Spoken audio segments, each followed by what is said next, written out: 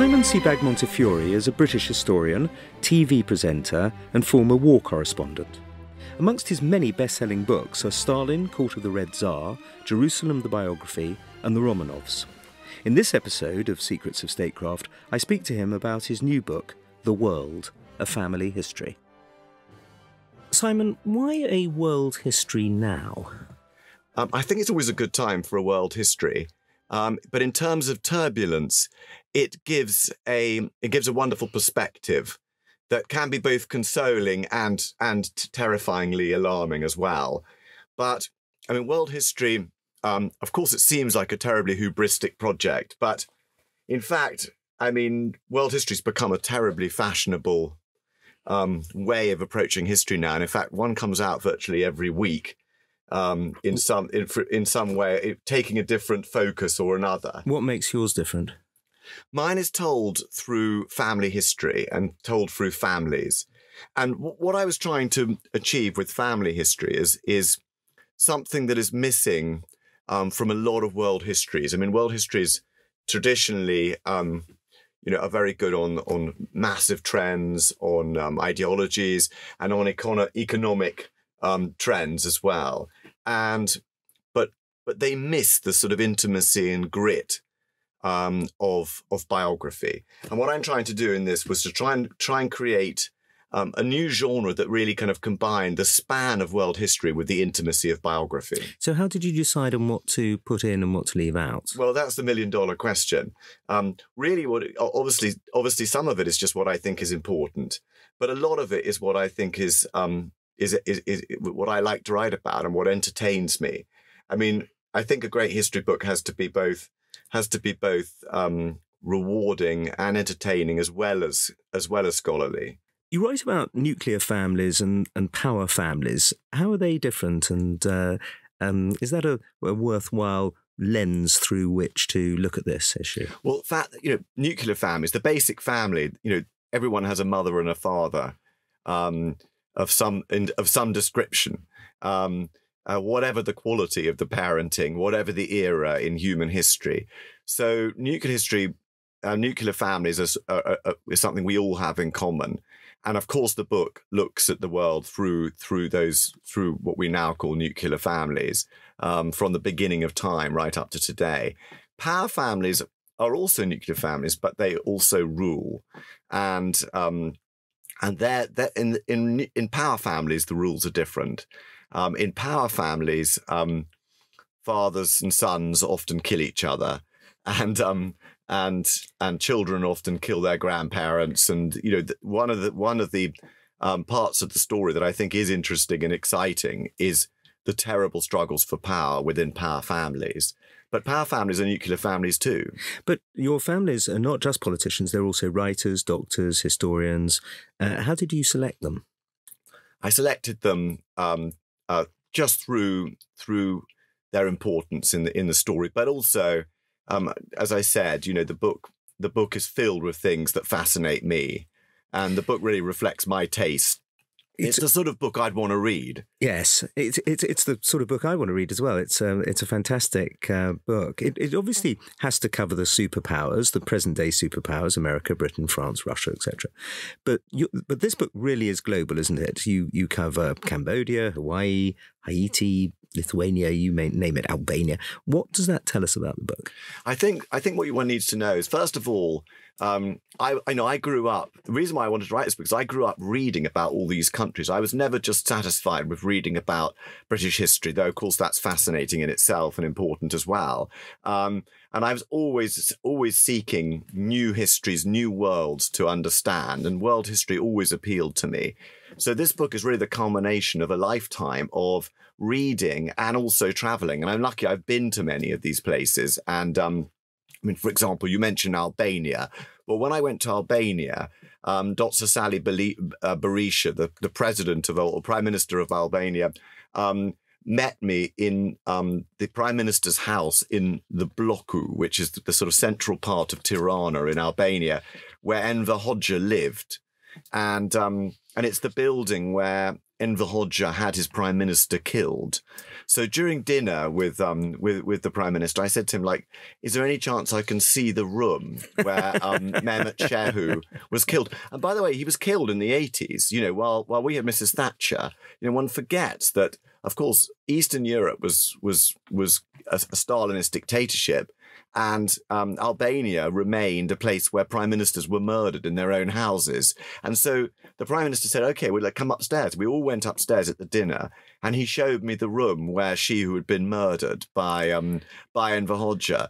Um, and and so that's the sort of thing that's in the book, and that's the sort of detail that I love and that caught my interest when I was writing this. Well, you were a war correspondent, weren't you, in uh, former uh, Russia when you, in the early nineties? Yes, um, and. Uh, you saw the attack on the uh, White House in uh, Moscow and Georgian coups and Karabakh and so on, Chechnya. What do you think that a historian uh, like you can learn from real wars that are helpful in a history book? Well, I think it's helpful for historians um, not just to spend their lives um, writing um, uh, unintelligible um, jargon in academic institutions, but to but to but generally to write um, and mix with a wider audience. That's one thing. Um, but to take that further, I think it is invaluable for for historians of politics to see how courts work and how leaders function um, in real life, whether it's prime ministers or kings or whatever. And you've you've you've um, met a lot of those, haven't you? Because uh, Thatcher and uh, Shimon Peres, Edward Shevardnadze, Kissinger, these people crop up in your in your book. I mean, does it help you think to have met these characters personally? I think it does, and you you probably agree with me, Andrew. I, I you've also do, known a lot of you've also known a lot of interesting statesmen in your time. Absolutely, but I'm interviewing you. okay, okay. so well. Tell me why. Um, me I'll why tell you why. I think it helps. I mean, first of all, one of the things that are, I mean, before we even get on to empires, and which is a fascinating subject in the Russian, the fall of the Soviet Empire and the Russian imperialism today, which is a great subject, which is treated throughout the book. But I think I think it's it, it's a fascinating thing, but hard to understand how the courts of powerful people work and how power always in flux, always flowing to the always flowing f- flowing to the to the most powerful place. Um, I think that I think that you know just seeing it in action, um, and obviously the more intimately you can see it, the better, is is invaluable for a historian writing about power. So in all those cases. Um, I was very lucky to know these people. I mean, obviously Kissinger I knew long after, um, long after he'd been in power, though he certainly ex- still exuded it powerfully. But the other ones I sort of I, I I I knew while they were in power. I mean, I saw Thatcher in 10 Downing Street. I I knew Shimon Peres. I met Shimon Peres first, I think, when he was prime minister for the second time, and then.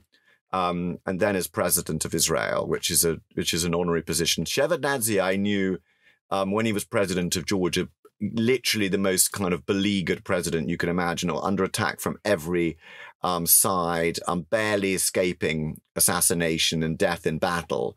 Um, and that was one of the most fascinating relationships I had because he he came to trust me.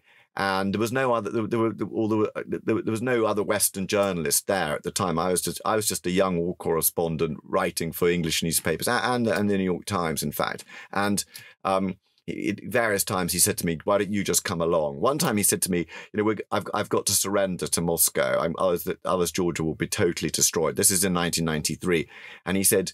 Um, would you have you got your passport with you? And I said no. He said, well, you better stay close to me then, because we're flying to Moscow to see Yeltsin and basically to surrender um, Georgia into the Russian sphere of power. You know, we, they were hoping to sort of make it into a Western into a Western client rather than a Russian client. And that failed then, and of course it would fail again later. So these were all amazing relationships, you know, and I've put them in the book. I've lucky lucky that in the last sort of um, 50 year period of the book, yes, I knew some of the characters.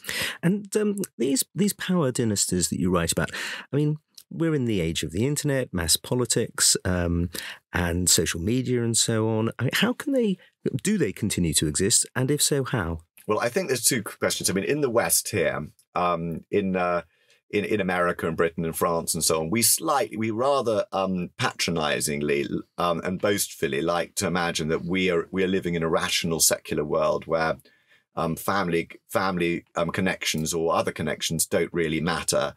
Um, but actually, I think we kid ourselves, and in fact, um, camarillas and connections and uh, affinities of power. Some of some of them um, family based. I mean, you only have to look at the Trump White House or or the Bush family or or the Kennedy family or the Nehru family in India for that matter. I mean, there are many many examples of these what I call demo you know, demo dynasties where they're elected um, families, and that applies all over the world. Of course, I mean, you know, Kenyatta's son has just left.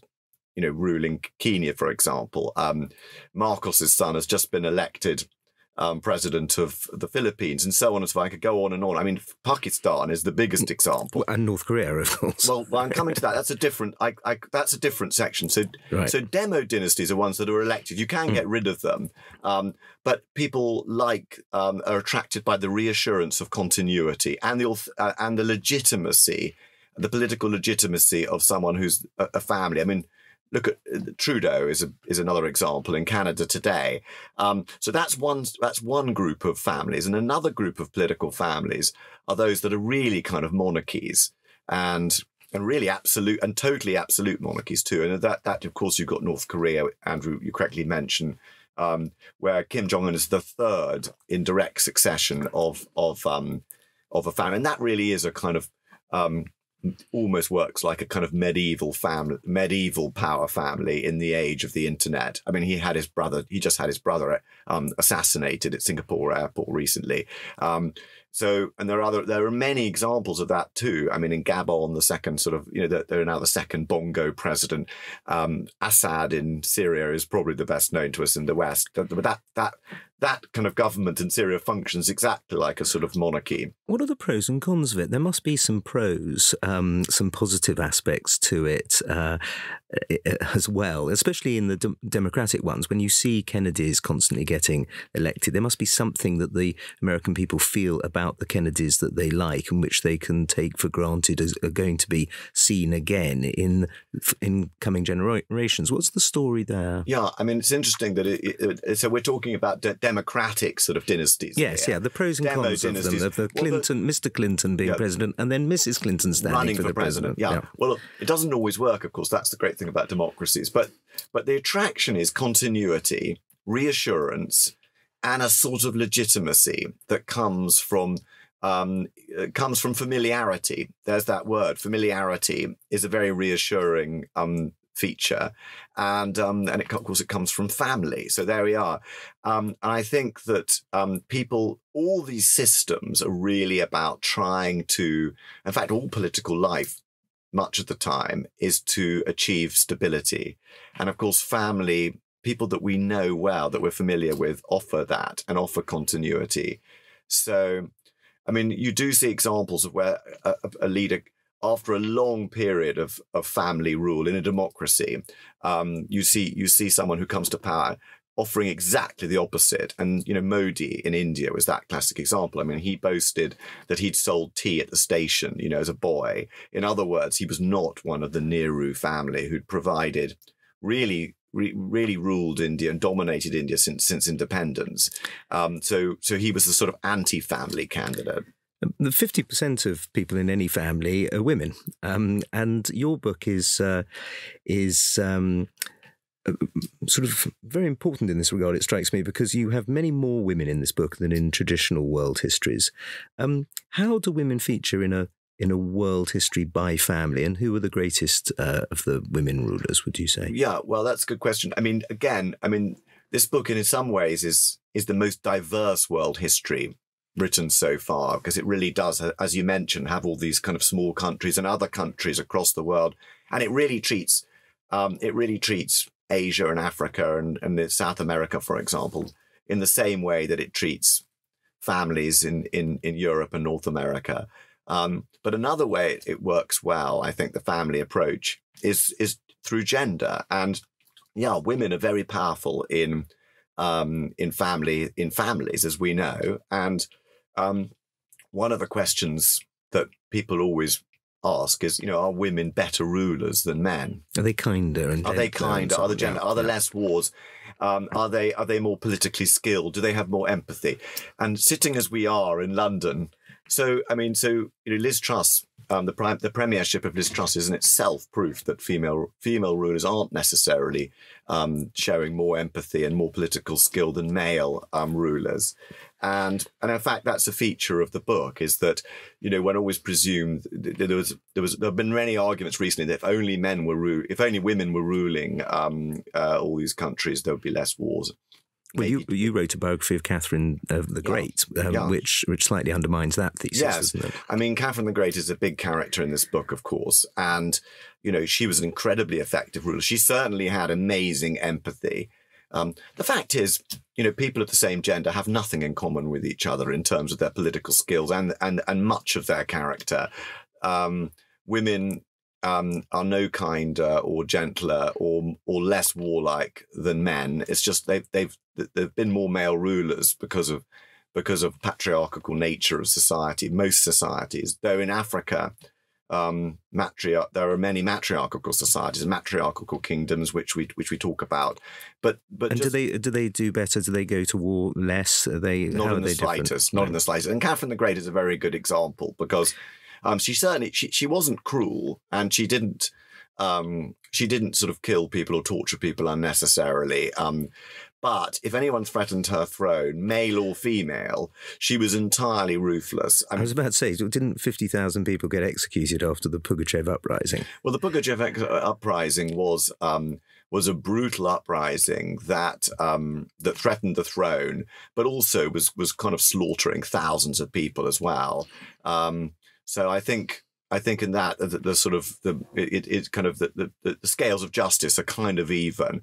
I was more thinking of like, for example, um, there was a there was a woman who called herself Prince Elizabeth who claimed to be the daughter of the previous Empress Elizaveta, and um, Catherine had her kidnapped, tricked, brought to Petersburg, and imprisoned in a dungeon sort of below the waterline, pretty much um, in um, in Petersburg, where she died of either flooding or disease. But you didn't want to cr- cross Catherine the Great in terms of her actual throne. Yeah. Otherwise, uh, and of course, her she had a you know she she overthrew her own husband, and um, and and though she didn't organize or, or order his death, I mean, she knew it would he was going to be murdered, and he was actually murdered in a kind of drunken um, frenzy by her lover and his brothers, the Orloff brothers. So, so um, uh, uh, yeah, so power is pretty da- power is pretty dangerous, even in a female. Um, even in a female uh, uh, crown. Are, are, the you've written about the Romanovs, of course, famously? Are they your favourite dynasty? Um, no, um, I, I, think I think I enjoy a lot of the dynasties. I enjoy a lot of them. I mean, there is there, there is such a variety here, but of course there are all the familiar European ones: the Romanovs, the Habsburgs, Saxe Coburgs, of course. Um, uh, by the way, when Catherine the Great, when Catherine the Great murdered her her husband Peter III, um, the official statement declared that he died of hemorrhoids. and when D'Alembert was invited by Catherine the Great to um to go to go to um to go to Russia and meet Catherine the Great, he said, "I don't think I can go because I have hemorrhoids, and they can be a fatal disease in Russia." um, now, another part of, um, of families, of course, is children, which uh, very often actually people miss out in histories, uh, don't they? They're, they're, they're rarely um, key figures, but uh, they do appear in yours, don't they? Well, tell us about uh, yeah. the importance of children. I mean, I mean, children are. You're right. Children are missed out in biographies, as women often have been, and um, and so children appear in this book. And um, one of the interesting things is because I mean, parents have always adored their children, but because so many children died in died in, in during their um, during uh, the early years of their life.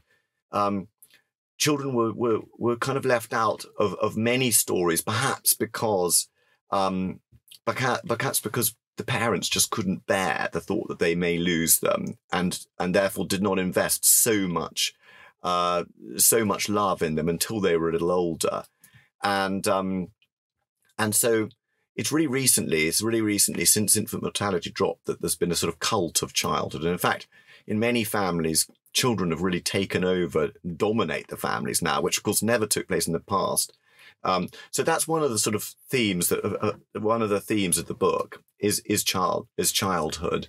But since you just while you go back to those female rulers, I just wanted to say a couple of things about them because it's so interesting. Um, Are they, are they, by the way, kinder to their own children than than fathers are? Not at all. Not at all. Often fathers are much kinder, but in all cases, um, power almost always trumps family love, and even quite um, quite modern um, quite modern mothers like Maria Theresa from the 18th century, for example, was absolutely ruthless about marrying her children, even to sort of even to sort of syphilitic brutes um, in hmm. order to serve the Habsburg family dynasty. And by the way, she's one of the sort of she's one of the fascinating women um, who we, we look at closely in the book. And she is an amazing person. She really was a brilliant politician. You know, um, no one expected anything of her. Um, everyone regarded her succession as a complete disaster for the Habsburgs, but she held it together and showed amazing uh, resolve and acumen in running in running that empire for 40 years. And also in the 18th century, you interweave characters and families uh, like Sally Heming and Thomas Jefferson, um, Toussaint Louverture, and, and so on. Um, tell us about how you did that. Well, I mean, one of the what what I've done in this book is is it's a single narrative since caveman right up to um, right up to the invasion of of Ukraine by by Putin. Um, Did you have ago. to end it there because you had to end it somewhere because you well, had a originally publishing ended, yeah, origi- deadline? Yes, origin. No, I mean I was dying to end it somewhere as as soon as possible. In fact, but I want no, I wanted it to be modern because I'd always wanted to write modern life as history, and as I, as we talked about earlier, I'd, you know I've been lucky that I've seen some of these things in real life. Um, and so I've put them in the book, which is which is which is both fun but also gives an immediacy to the story. Um, I originally was going to end it um, uh, when the first person died of COVID in in Wuhan, and it ended there. But when the invasion happened, um, in February, I immediately realized it had to be this. That had to be it because it changed the whole world. And also, Russia and Ukraine do crop up a lot in your in your story, don't they? They're they're in it all the way through, and you know, Ukraine really uh, really appears um, from you know from 800 onwards, and and in fact, you know, um, Darius Darius the Great, the the um, king of kings of the Persian Empire, the Achaemenid dynasty, invades Ukraine and barely makes it out. In fact, and uh, famously, of course, um, in July twenty one, Putin wrote that 6,500 word essay on the historical unity of the Ukrainians and the Russians, uh, which gave him, at least for him, himself, a, an intellectual justification. Um, did it stack up at all, that uh, essay? It struck me as being very strange and wildly written and mentions Lithuania no fewer than 17 times, which must be very off putting and worrying for any Lithuanian. What, what's your sense about about that and about his his worldview? Well, I mean, obviously his worldview is very ideological, and it's really just based on a, it's based on the view that the Russian Empire is the superior civilization. He calls it the Russian world, and it really comes from 19th century Slavophiles. I mean, he is a Slava- Slavophile directly from that ideology in the 19th century. He um, he regards um, Ukrainians as little Russians, which is what they used to be called by the Romanov and Russians in you know in within within Moscow and Petersburg, and um, the, the the Belarusians are simply white Russians, and the southern Ukrainian um, cities like Kherson, Odessa are new Russia, new Russians. So it's all Russians, and Russians are just one people, and so um, since he came to power, he's always believed that. And I know that because when I wrote my first book, Catherine the Great and Potemkin, it was read by him.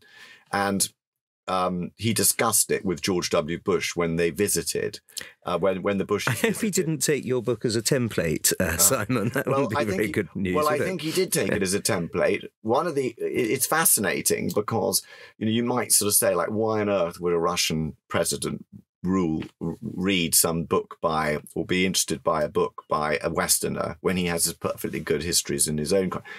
But that's one of the strange things about Soviet culture. The Soviet the Soviets didn't study Catherine the Great at all. And when I went to the archives, there were no virtually nobody had taken out those those archives for hundred years or seventy years since since 1917, because Catherine the Great and Potemkin were, were very decadent, aristocratic, and and of course female friendly characters.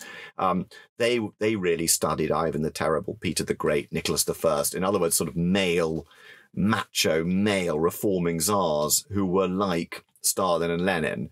And therefore, they, they knew very little about Potemkin and Catherine the Great. So bizarrely, they they they they read that book, and um, and that was in 2000. So they were already fascinated by how Catherine and Potemkin took the annexed the Crimea in 1783 and most of southern Ukraine in 1791, and how they founded all those cities. But to give Catherine the Great her due, she was not a, a Putinist. Um, they were children of the Enlightenment, and their attitude was much more cosmopolitan and less nationalistic. I mean, they believed in a Russian empire, but a slightly different Russian empire, um, a cosmopolitan empire. And they set, when they built those new cities, which we're all reading about in the news now, like Mariupol, they filled them with Greeks, with Jews, with Poles, with Ukrainians, and with Russians, and with French people. So they were very, very international, sort of frontier towns filled with settlers. So they were very different. They were very different from Putin's vision. When I mentioned Sally Heming um, earlier, and um, that obviously brings us on to the uh, the slave trade and and other slave trades. You're you're not you don't just you you of course go into the terrible um, British involvement in the Atlantic slave trade, but you also cover other slave trades as well, which are often neglected, I think, in world yeah, history. Aren't that's they? That's true. And uh, and what I tried to do in this in this in this, you mentioned Sally Heming, fascinating character, um, which um, Thomas Jefferson, great U.S. president, um, responsible for buying half of the Amer- North American continent with the Louisiana Purchase, which was sort of decisive, really, in the in American expansionism, the creation of the American state. But he also had this secret love affair with his wife's enslaved um, African American half sister, Sally Heming, who was who was you know, 30 years younger than him, very beautiful by by um, contemporary accounts. So there was very there are very few very little descriptions of her, and um, he started an, a, an affair with her in um, in in Paris, where Jefferson was was um, ambassador, and um, we know we know very little of the details of the relationship. Um, of course, all relationships between a slave master and the enslaved include involve encompass some coercion. Um, it's not an equal power relationship. We simply don't know how it worked between them, but they had several children together. And what I wanted to do in this is to treat the Heming family exactly as I'd treat the Jefferson family, or the family of Toussaint Louverture, who was the the um the, the great liberator of the of the slaves of Saint Domingue, the, the French colony that became Haiti.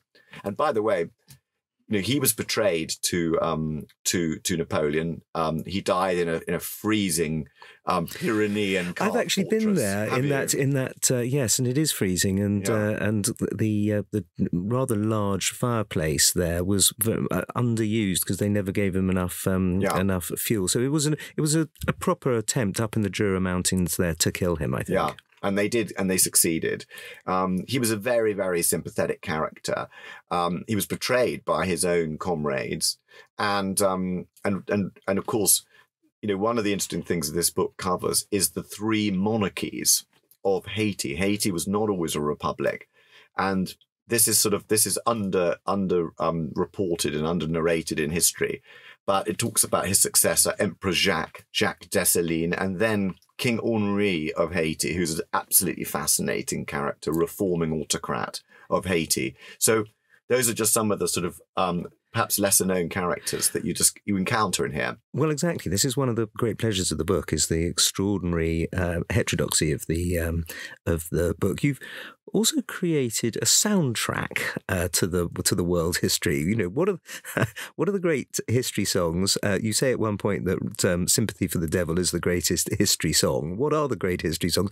And and and is pop music useful for teaching history? Well, we're just sort of um, we're just uh, we're just doing that, um, putting together that soundtrack to the world now as you as we're meeting here in London. Because t- yesterday I sort of launched it on Twitter, and um, thousands of people, including some great many great historians from Simon Schama and Annette Gordon Reed and other people, have all written in their favourite songs, which are included in the list. And I do think, I mean, there's a serious side of this, which is the great thing about family history, a family world history, as I mentioned at the beginning, that you know we one wanted to get the intimacy of real life, and you know that this is often missing in histories where you just get um, battles, downfall of civilizations. And what I want to get in all my history books is the feeling that, you know, what people ate, what people, how people dressed, how they made love, how they talked to each other, and the music that they enjoyed and the books they read. So this playlist is a sort of um, part of that, though, of course, most of them are um, commentaries on history. But you're right. I think the Stones, um, Sympathy of the Devil, I've put number one because, um, please allow me to introduce myself. I'm a man of wealth and taste. No, absolutely. It's a it's a great history song, Great but, but but but better than the great Billy Joel song where he goes through the Yes, everything um, that happens yeah. in every single decade. We didn't like the fire. We didn't like the fire. 1953 Yeah. to probably to about Yeah, I think- 1985. I think that's one of the candidates. I also think, you know, Boney M's Rasputin is one of the guests, and a brilliant analysis of, of Russian um, power politics at the early part of the 20th century. I, I hope you don't have uh, ABBA's Waterloo, owing to the fact that Napoleon didn't surrender. He didn't. Didn't. But, but, But but you've got Elvis, you've got Elton John, you've got Mick Jagger, Sinatra. They all crop up in the book. I mean, music is obviously important then. I think music is important, and especially, I mean, I think it's always been important. It was, you know, in families, particularly before, before television, um, theatre, and singing in houses was, you know, singing at home was, of course, immensely important, and everyone um, from from middle class families learned instruments and could sing and could sing at home, and that was part of family life. But once it came to mass culture, um, it's easier to it's easier to chronicle, and of course you know, people like take Sinatra, for example. I mean, Sinatra is a key figure in American political figure in a way. He's a sort of fascinating nexus of um, politics, of popular mass culture, um, of the commercialization of, of society, um, the, you know, and, and the consumer society, and also the mafia, of course. Mm. So um, Sinatra's just one, of- you know, and I, of course, in a book like this, I love characters like that because he brings in the Kennedys. And I suppose there's also a family element in that it was his mother, wasn't it, who drove him on, Yes. and uh, and then his son also became a singer. So you've got that uh, aspect to it. Well, I as think I think one of the themes of the book is that yes, there are power dynasties. Um, yes, there are dynasties of of historians and artists as well. Um, but we're all part of dynasties. We're all part of families, and um, and so the the sort of approach works just as well with people who hated family, like Hitler or Stalin, as it as it does with people who were part of massive families like the Habsburgs or the or the um, ruling house of Benin or Dahomey. And I suppose with Stalin and the way in which the um, the Soviet Communist Party tried to get children to inform on their parents was a classic anti-family um, aspect phenomenon. Yeah, and as and you know another fa- anti anti family um, institution, it was slavery, which you mentioned earlier. You know, one doesn't one thinks of slavery, of course. In a Roman family, the familia that that included that was meant the household, and that included the house slaves as well as the children and the you know the brothers and sisters and parents and, and grandparents, of course. Um, but basically, um, slavery always deliberately broke up families wherever possible in order to in order to exert co- control, and um, so And the first thing that happened, of course, on the ramp at Auschwitz was that the family was broken up. yes, and of course another you know a, a, an underreported part of World War II is that it was the greatest um, greatest slave empire in all of history. I mean, it, it, it it's it's estimated the exact figures aren't known, but it's estimated that about 12.5 million people were enslaved during World War II. It's only for four years, of course, but that's more intense than And they anything didn't. else. They didn't history. know that, of course. No, they had no, no, idea. they didn't know that, and um, you know, and the whole the, the intensity of it was astonishing. But of course, we we cover the Atlantic slavery, but we also cover other slave trades that that um the, that were also um, if you were if you were a victim of them.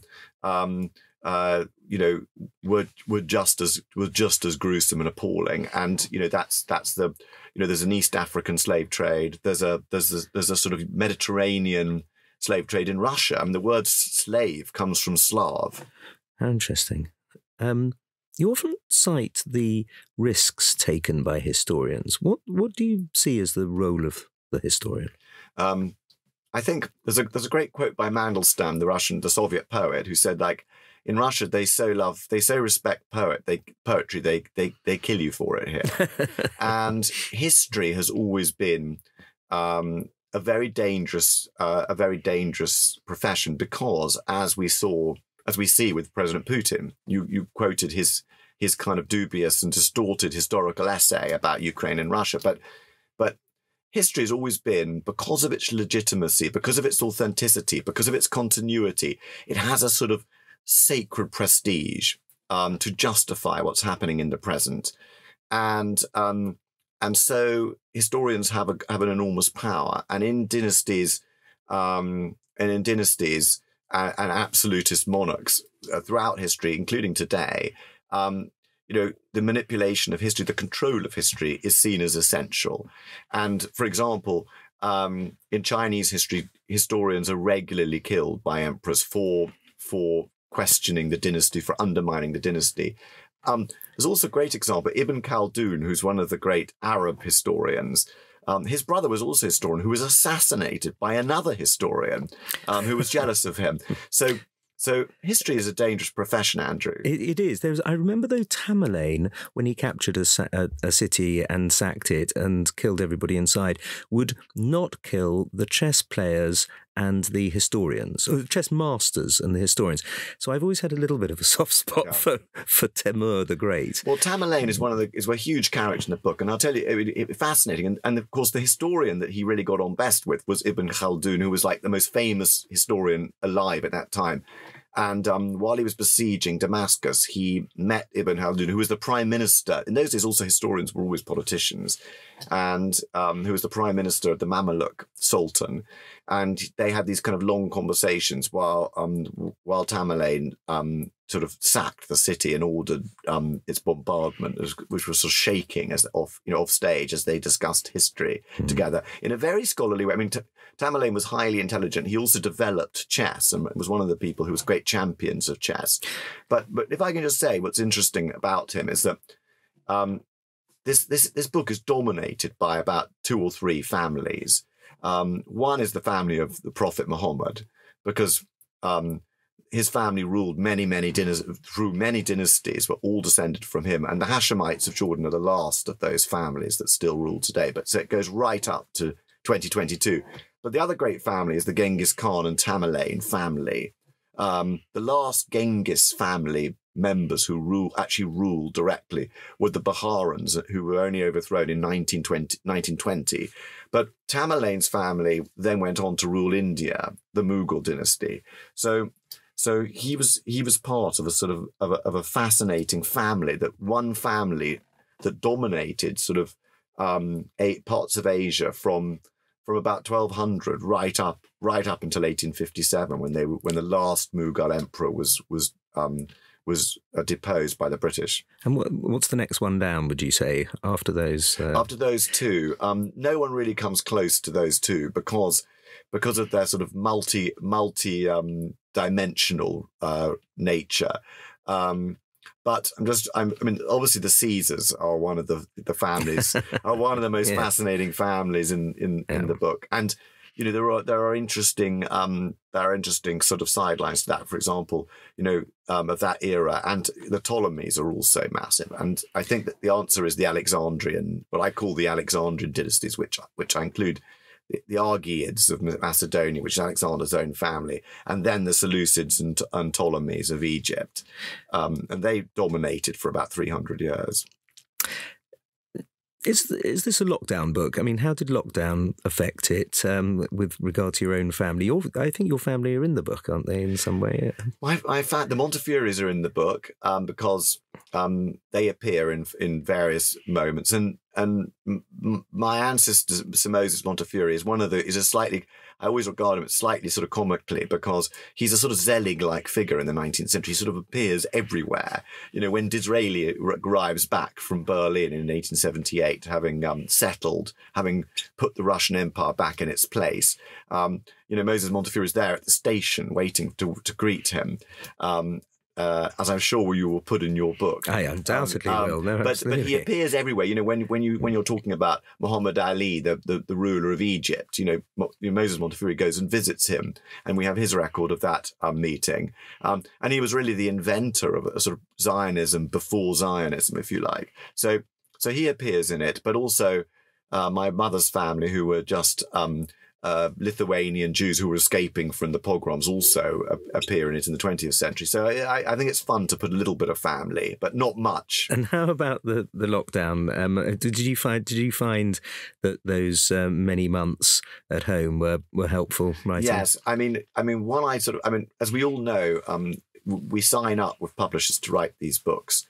Um, and we're quite uh, we're quite excited by that. And then when it comes to actually write it, it you know, you, it's quite an awesome project. Well, it's an awesome book. It's how many pages long? Twelve hundred pages. So you sort of same as your Churchill almost. I yeah, think. yeah. Um, and um, and of course the Churchills are one of the families in the book. Um, jolly well hope yeah, so. yeah, from Winston Churchill and John Churchill, first Duke of Marlborough, right the way right the way Lord down Randolph to, and to so Sir. Winston. Yeah. Mm, So yeah. anyway, so um, yeah, lockdown was just essential. I mean, it was just. I mean, without lockdown, I don't think I could have written it at all because I just literally, it took me two and a half years to write this book. Normally, a book takes a year, a big history book takes a year to write, basically. But this took two and a half years and it was a punishing schedule. But I was on my own a lot of the time. The family were in the country. And I was Mm. just in this small office filled, piled with heaps of books in order. um, one day I came back to find find that the um, that my my cleaner had reordered all the books. um, What in the basis of height or yeah, something? in the basis of height and what would look best together, and um, Yeah. and so and because everything was in That- subject. That once happened to me years ago, where where the very nice housekeeper reordered them on the basis of colour, Yeah. the colour of the of the well, book that's jacket. what she basically did, and of course that. I mean, I mean, I, already I was highly stressed by writing this book, and of course that caused a, a near apocalyptic um, breakdown. Last question. Um, the conclusion. Um, it's it's the book is filled with with horrors and massacres and uh, and ter- terrible deaths in terrible ways because that is the nature of um, of of world history. But you end optimistically. Um, this uh, this this big book. You ended optimistically despite all the horrors that you've um, you've filled the book with. How how can you do that? Why do you do that? Well, I think I think of course the book covers the dark matter of history, um, slavery, war, um, uh, uh, plague, which which are for better or for worse engines, the engines of change. But but the book's also a great celebration of love, of literature, um, of human ingenuity, and that's how I end the book. Just to say that after all this, we live in a world of many dangers, growing and present dangers, and yet and yet I end up with optimism because this book, above all, is a celebration of family, love, and human ingenuity and creativity. Simon Sebag Montefiore, world historian. Thank you very much. Thank you.